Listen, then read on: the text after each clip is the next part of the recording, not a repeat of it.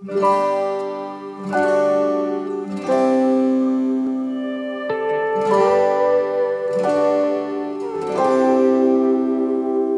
Jean. I have dreamed about this day since I was a little girl. I remember laying in my bed and praying God would mold me into the woman I needed to be in order to be ready for the man I was going to spend the rest of my life with.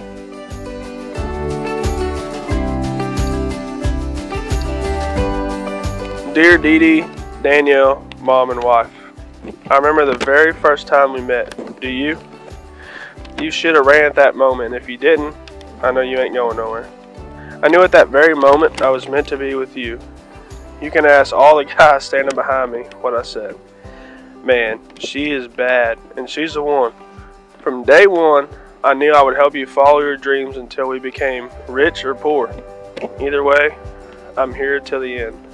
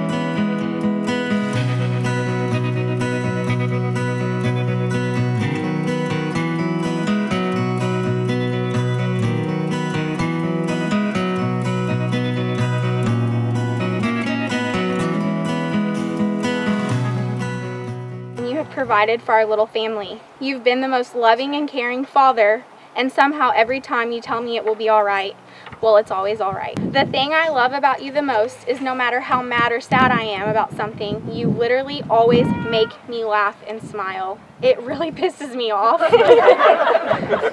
I'm so thankful for every stage of life that has brought us together. You are my one and my only. You are my forever, always. I love you, Wesley Jean. I promise to love you for who you are and who you are yet to become. I promise to be patient, even though that's not even close to what I am. I promise to share my entire heart with you and remember to show you that deeply how I care every day. I promise to put you first during football and hell, even duck season, I guess. This ring upon your finger. I joyfully place this ring upon your finger. Do you, Danielle, with all family, friends, and God as your witness, do you take Wesley as your husband? I do. Do you take Danielle as your wife? Hold on. What y'all got? Come here.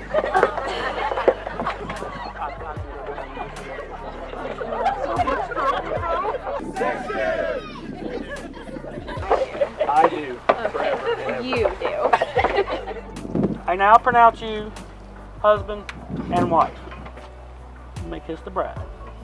Hell yeah.